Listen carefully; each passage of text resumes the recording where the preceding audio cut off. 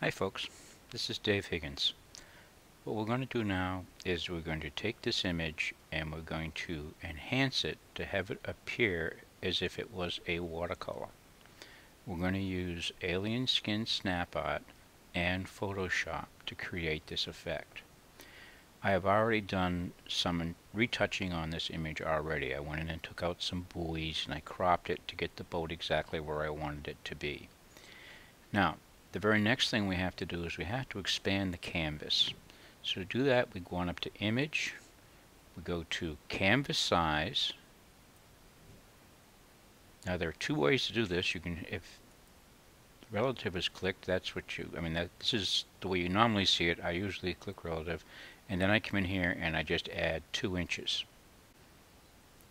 Then we just click OK. And now this has put an extra space around the image. And we need this because when we do the painting, watercolors usually bleed off into the edge of the paper, so we have to create some space for that to effect to occur. Now, when you try and, and make the enhancement, if you have this hard straight line, it's really hard to get rid of it. And you have to almost overwork the image to make the line not appear. So you have to use some technique to break up the edge and I usually use the mixing brush.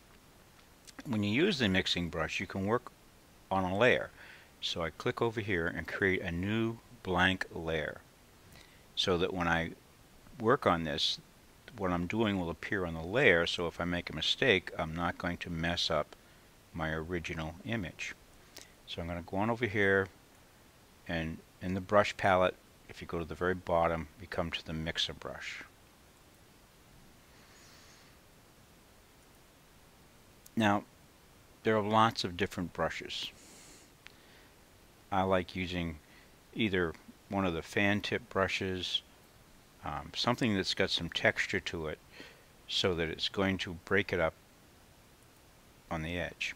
Now you don't have to be terribly fussy about this. All you're trying to do is create a broken edge.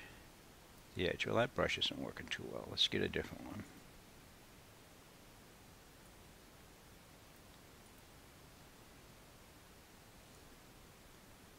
is doing it. And the whole object is just to obscure that line. We don't want the line to show. And I'm just doing this with the mouse. I'm not using a tablet or anything like that. Make it a little smaller when I come down the edge here. Maybe a little bigger than that. And remember, you just got to break up the line. That's what it's all about. And you want to really hit the corners because they're the worst.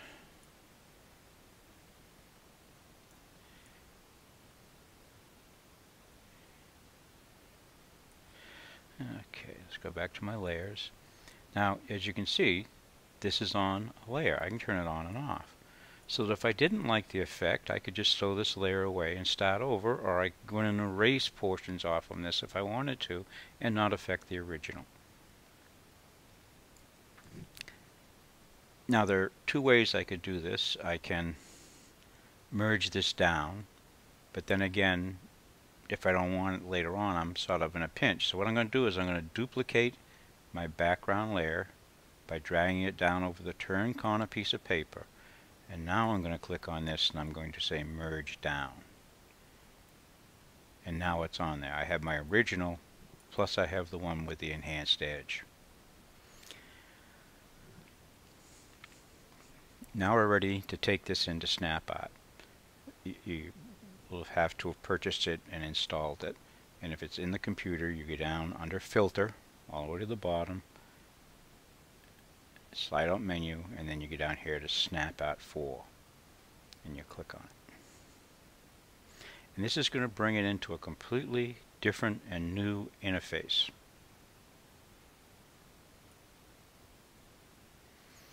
Now, I'm not going to go into this in great detail. We're going to do a lot more videos on this particular piece of software.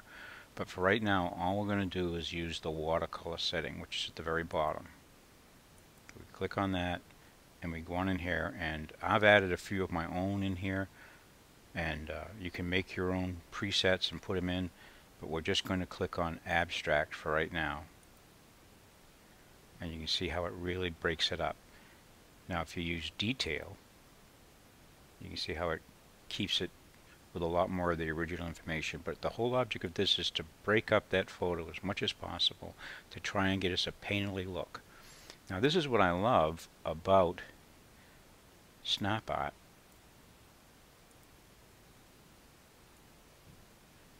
is it has tremendous adjustability. I'm not going to explain what each one of these sliders do as we go through and do more and more of these projects you'll see but basically the brush size sort of determines what size brush you're using. So if I was using a fine brush I would be able to see a lot of detail. If I was using a large brush I wouldn't see as much.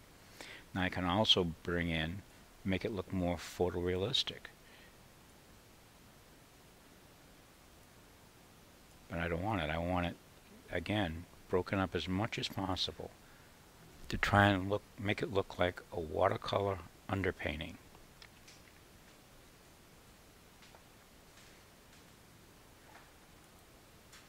I'm going to go down the color and remember brightness is important so I want to try and get it a little brighter than I think I probably want it to be and I'm going to warm it up a tad.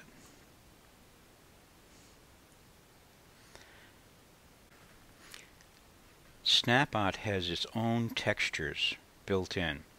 Um, I don't particularly like their textures, so I want to have them be as little, as unapparent as possible.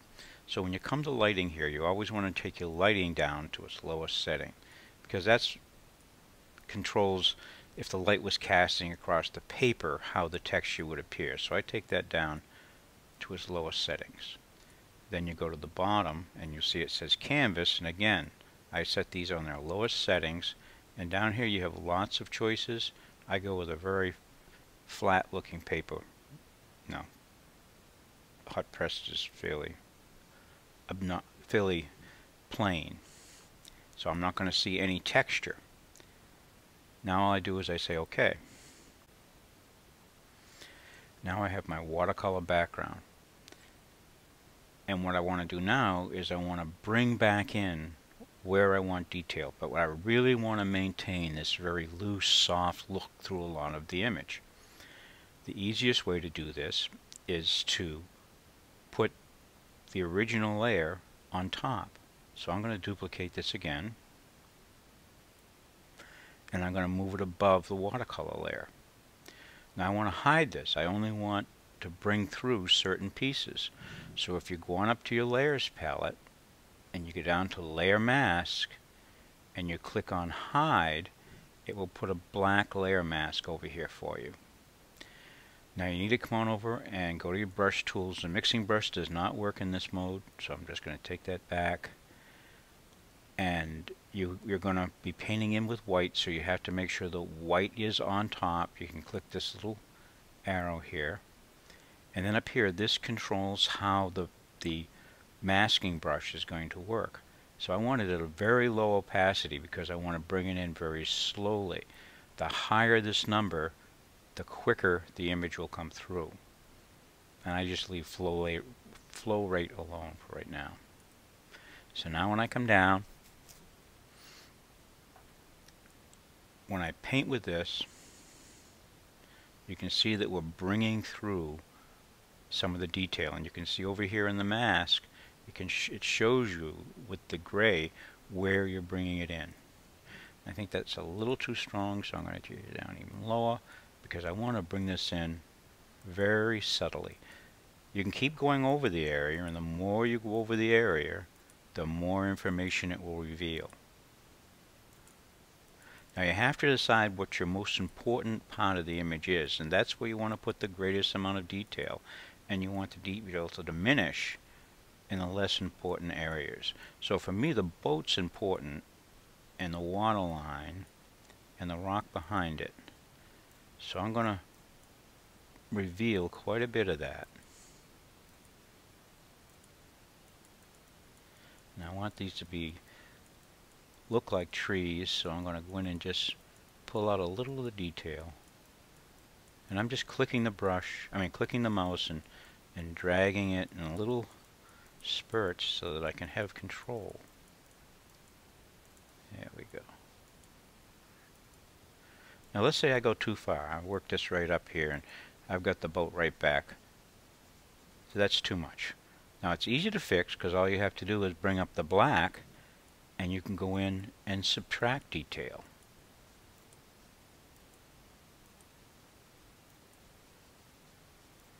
So you can work it back and forth until you get it where you want it to be.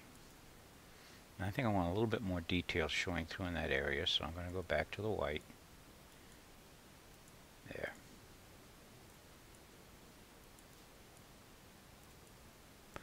Now this is experimenting. You got to play with it. You know, you got to expect that it's not going to work out sometimes, and you have to start over. But you know, it's a real play process. You have to go in and push it around and try it. So right now, it looks like what it is. It's a photograph that I've dropped into something that looks like a watercolor. And what I have to do now is I have to make these two things look like they're one. So what I'm going to do is I'm going to run it back through Snap Art again. Now I need to get these two together so what I'm going to do is I'm just going to go on up and say merge down. And now I've got it all right there. Now I'm going to go back up back down to alien skin.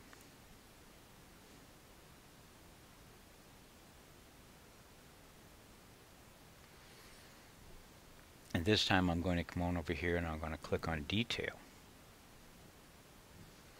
And I'm going to go in and work this.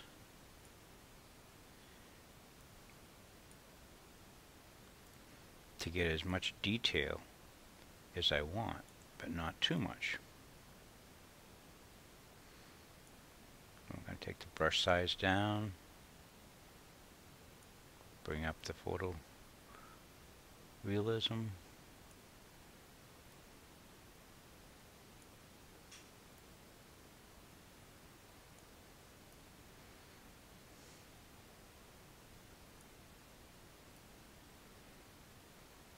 And again, you have to move the sliders and see what the effect is. And that's what I like about this process. You're making the decisions. The software is not making the decisions for you. Here I'm just playing with the color vibrance. And take it down a little bit more. Stroke length uh, doesn't really do a lot in the watercolor setting. But I move it just so that I can see what I get for an effect. Okay, that looks... I think I want a little bit more realism.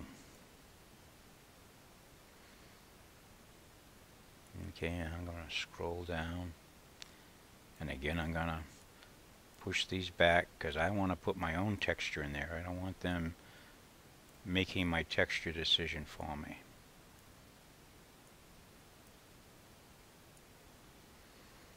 And again, I want to brighten it up some. Oops, wrong setting. Up here. Brighten. Remember, we're going to make it look like that watercolor paper is providing the vibrance or the whiteness of the image. And you got to just move these sliders around to see what the effect is. You can't just say, well, I want it there. You don't know where you want it until you play with it a bit. I'm going to warm it up some. Yeah, that's looking more like it.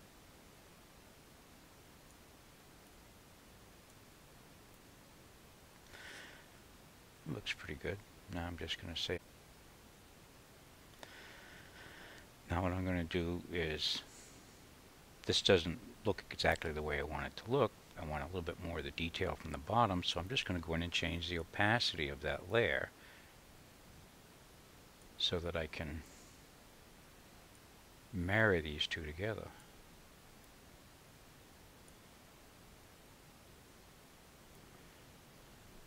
That looks pretty good. Now, once you get done with this, you have to now go in and adjust the tonality. So the first thing I'm going to do is I'm going to get down, I'm going to go to brightness and contrast.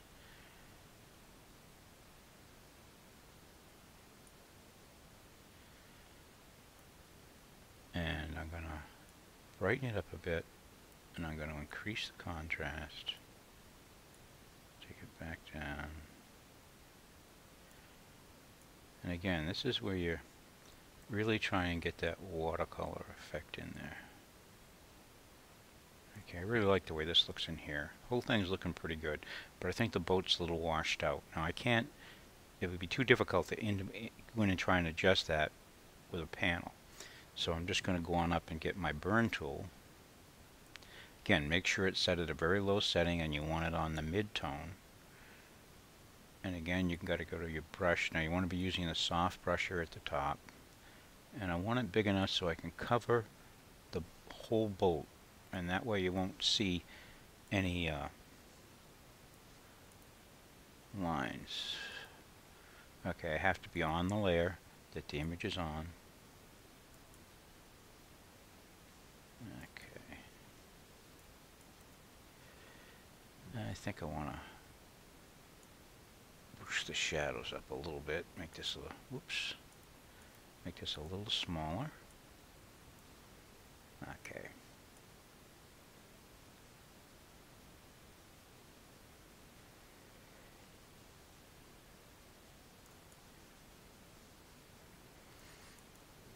Now I want to brighten up some of the yellow in there, so I'm going to go back to the dodge tool.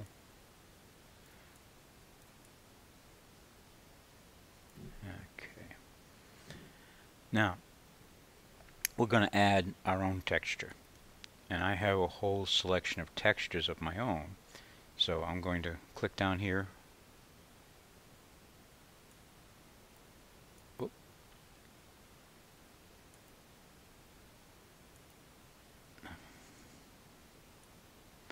I'm going to click on the yin and yang circle and I'm going to go to pattern. Now you have to have loaded these in. These don't automatically in there, but you can get lots of these patterns online. And this is a nice watercolor that I like. Now you can adjust the coarseness of it, and I don't want this to, I mean you can have it really be coarse, but I want it to be fairly subtle. But the warmness of the paper is also going to help because this image is a little on the blue side, I think. So you put it in there, and then you go to multiply, and we can now see what that's doing. I can turn it on and off. Now I think it's uh, a little too strong, so I'm going to go to opacity and tone it down a little bit.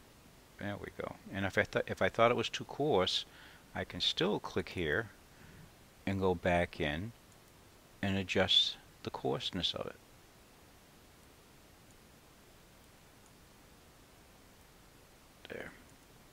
And that gives you a whole lot more adjustability than it does if you're trying to do it in SnapArt. So here's the finished piece. All it has to be is signed and it's ready to go. And that's how you can take a photograph and make it appear as a watercolor using SnapArt and Photoshop. I hope you found this helpful, folks. Give it a like if you did.